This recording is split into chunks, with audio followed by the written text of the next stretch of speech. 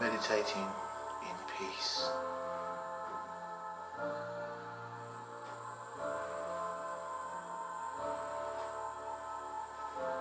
Discovering her inner self and learning to be happy.